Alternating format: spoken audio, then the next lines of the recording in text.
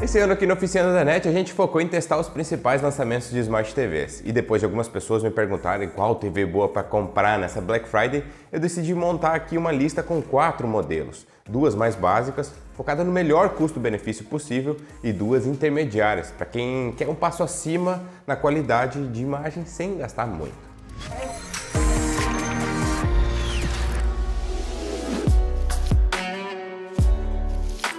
A gente começa a lista com a Samsung CU7700 e mesmo com esse nome ela conseguiu se tornar a TV mais vendida na Amazon, ocupando o primeiro lugar com o modelo de 50 polegadas e o terceiro lugar no modelo de 43 polegadas. E esse sucesso não é à toa. Até as TVs mais básicas da Samsung têm tudo que a maioria das pessoas procura ao comprar uma Smart TV.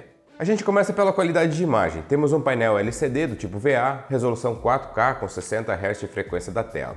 Só pelas especificações a gente já percebe que é uma TV mais básica, mas mesmo assim a qualidade de imagem não decepciona. Principalmente em ambientes claros, assistindo os conteúdos de TV aberta como futebol, novela, notícias, essa TV brilha muito bem. E para filmes e séries ela também funciona. É compatível com todos os serviços de streaming que a gente está acostumado, como Netflix, Globoplay, Disney Plus, Amazon Prime e por aí vai. A gente pode acessar tudo pelos comandos de voz ou clicando nos botões pré-programados do controle Solar Cell. Exatamente, a Samsung colocou o Solar Cell também nas TVs de entrada, eliminando completamente os controles a pilha. E para quem nunca viu antes, esses aqui carregam com a luz ambiente da sala ou por um cabo USB. Não precisa ficar preocupado com pilhas.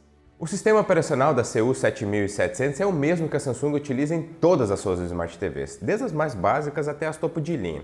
A diferença é que, nos anos anteriores, o Tizen era muito travado nas TVs de entrada, e é por isso que a BU8000 não está nessa lista. Eu não posso recomendar uma TV que você vai comprar e fica travando enquanto a gente navega entre os menus. E esse parece ser um problema que a Samsung conseguiu resolver, já que em 2023 a gente só teve boas experiências com o Tizen, ficou muito mais fluido e responsivo. E os pontos negativos da CU7700 são os mesmos de todas as TVs de entrada, e o primeiro é os ângulos de visão. Se você não estiver reto para a TV, a tela perde muito contraste. O segundo ponto negativo dela é o som. Eu tenho a impressão que a cada ano que passa, as TVs lançamento ficam com um som cada vez pior, tanto na potência quanto na qualidade. Compensa muito conectar essa tela num som externo, como uma soundbar ou mesmo um home theater. E fora isso, eu recomendo muito a compra dessa TV. O modelo com melhor custo-benefício é o de 50 polegadas, que está custando atualmente R$ 2.199 enquanto eu estou gravando esse vídeo. A segunda TV básica da nossa lista é a P635 da TCL. E na minha opinião, essa aqui é a melhor TV 4K custo-benefício para comprar hoje. E o primeiro motivo é o mais importante também, que é o preço. Essa TV pode ser facilmente encontrada por menos de mil reais no modelo de 50 polegadas, um valor simplesmente imbatível para tudo que ela entrega.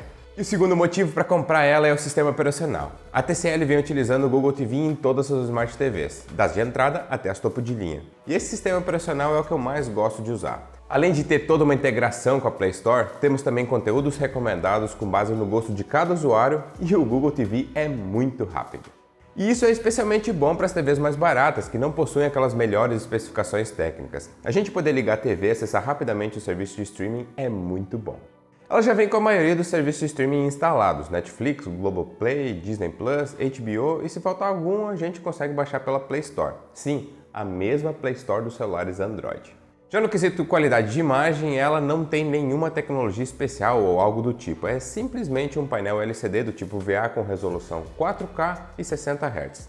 Mesmo assim, eu fiquei bem satisfeito com a qualidade de imagem. Ela tem o mesmo tipo de tela da CU7700 da Samsung, então funciona muito bem para assistir TV aberta na sala, futebol, notícias e tudo mais.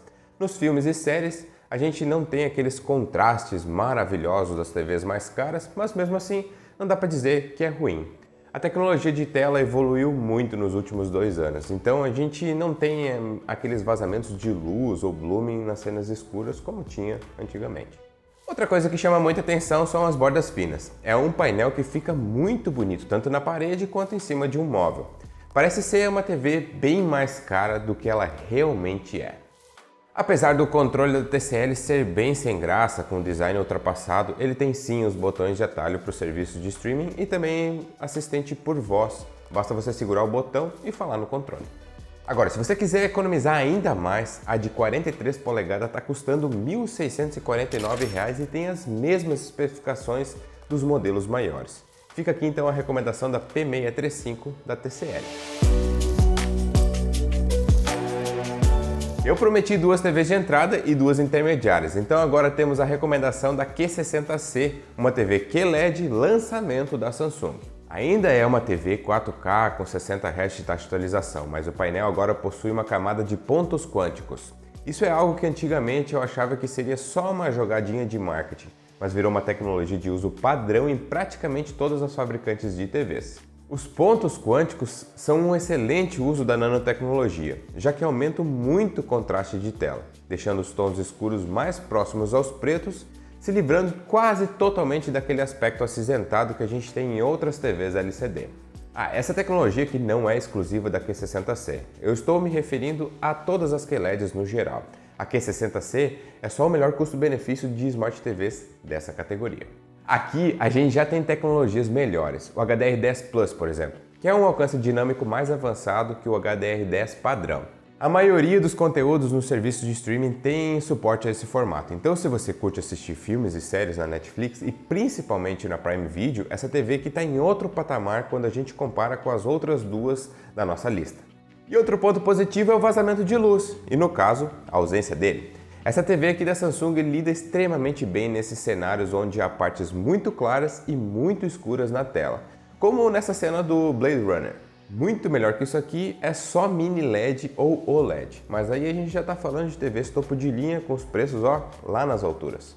Não que a Q60C seja uma TV baratinha, para se encaixar no nosso preço limite de 3 mil reais, a gente só consegue a Q60C no modelo de 50 polegadas. Então tenha em mente que os tamanhos maiores são bem mais caros. Na minha opinião, vale muito a pena levar uma TV menor e com qualidade de imagem superior. No final, tudo vai depender da distância que você assiste. Já no som, não temos uma melhoria igual tivemos na qualidade de imagem. Ainda é aquele mesmo som de TV, e se você aumentar para mais de 50%, perde toda a qualidade. Você leva uma TV com tecnologias mais novas na tela, mas o som continua o mesmo de toda a linha Crystal Ultra HD. Se você chegou até aqui no vídeo, significa que está gostando, não é mesmo? Então deixa um likezinho aí embaixo, custa nada e ajuda muito o canal a crescer. A Samsung The Frame está longe de ser uma TV barata, mas mesmo assim eu tive que incluir ela nessa lista. Acontece que a gente está falando de um modelo de 2022 e a The Frame não teve uma atualização no ano de 2023. E isso significa que, muito provavelmente, a Samsung esteja se preparando para lançar uma nova edição da The Frame, e vão querer se livrar dos estoques dessa aqui. E essa é uma ótima oportunidade para você levar para casa uma TV muito especial. E quando a gente pesquisa sobre a The Frame, é meio difícil de encontrar as informações técnicas dela, mas temos aí um painel LCD VA QLED, ou seja, é similar à Q60C da nossa lista. A diferença é que a The Frame tem algo a mais, que é um filtro anti-reflexo especialmente feito para essa TV.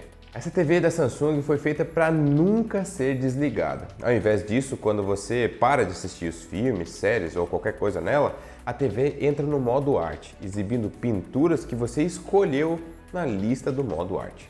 E quando eu vi isso pela primeira vez, eu pensei, nossa, por que, que alguém vai deixar a TV ligada exibindo um quadro? Mas logo que eu tirei ela da caixa e liguei, eu mudei totalmente a minha opinião. O filtro anti-reflexo realmente deixa o painel com aspecto fosco, é como se fosse uma tela de papel ou tecido. A textura engana muito bem e quem não conhece realmente vai pensar que é um quadro de verdade. É impressionante. E o anti-reflexo tem sim seus benefícios fora do modo arte, já que ela ainda é uma Smart TV, e isso significa que a gente consegue assistir os conteúdos numa sala extremamente iluminada, sem sofrer com reflexos, o que é ideal para uma TV que fica num ambiente externo ou bem ensolarado.